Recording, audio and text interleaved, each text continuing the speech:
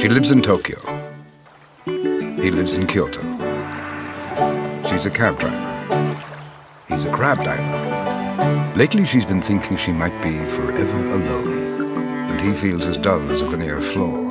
She longs to hear her ex's warm voice, as he stares at the microwave, remembering his ex's lasagna. Tired of her failed dates, she buys a stunning bra.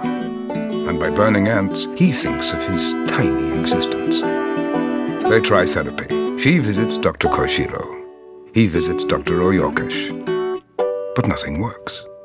Until one day, her friend Dolly Dillon invites her to a costume party. Dolly is a friend of Linda Lloyd, who, in turn, invites him. She dresses as an apple pie. He puts on a pineapple costume. And as she steps into that nasty old train, he drives miles down a tiny slant road.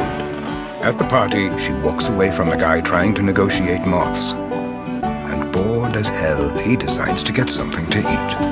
And then they finally meet. Her name is Agustina, and his, Santiago.